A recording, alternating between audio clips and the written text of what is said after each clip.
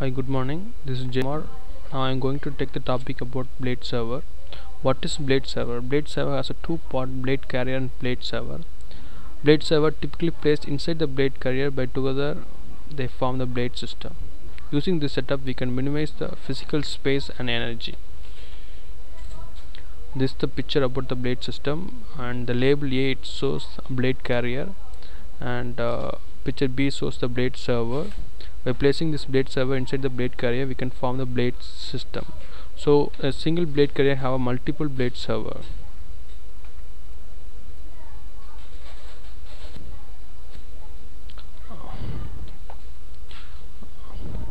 By this enclosure it has a multiple blade server and which is provide power cooling networking and various interconnect and management console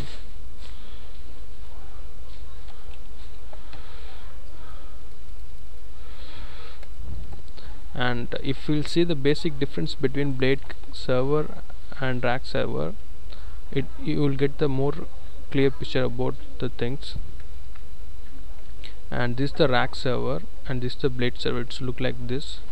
And the picture this is the rack server. The definition. Blade server actually it is the standalone server standalone computer but in the blade server it is the modular design. By obtaining this we can minimize the physical space. And but in uh, it's uh, completely opposite to the rack. It require more space because it has a separate hard drive network card and contained in a case. And uh, rack it's the name is originate from the rack server or specially designed to store in a rack. So hence the name it's called rack server. Blade comes from the blade it's indicating restricted format. And focus it is very expandable but it's comparatively less.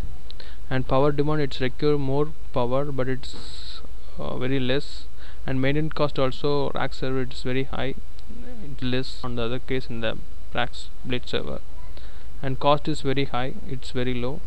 Uh, large is comparatively is very large is very less. Cabling also it's very uh, huge. Uh, it's very complex cabling network. It's looking like this but it's in the rack server but in the blade server it's very comfortable. It will come with three or four cables. Uh, it's suitable for small business. It's extend organization for some business like maintaining the web server ftp server email server. In that case we can go with the rack server to maintain the extend organization cloud computing high performance computing. In that case we can go with the uh, blade server. Benefits.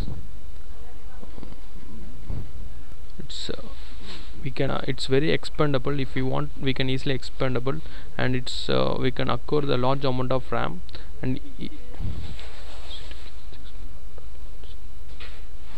and it's uh, make easy to keep the need orderly include some kind of cable and argument.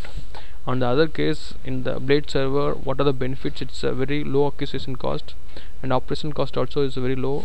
It's require very less troubleshooting and repair and low power requirement lower space cooling requirement and reducing cabling requirement and uh, very efficient out of management allow faster server to server communication because it everything will come with a single chassis and greater flexibility.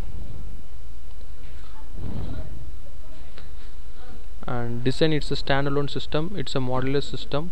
And advantage it's uh, require more physical space but in other case it's a chassis it's reliability on the chassis depends on the reliability of chassis only we can place the server and mount it inside the cell rack but in the chassis the main use case in the rack server we can do rack server we can use in the separate standalone server uh, http server web server ftp server.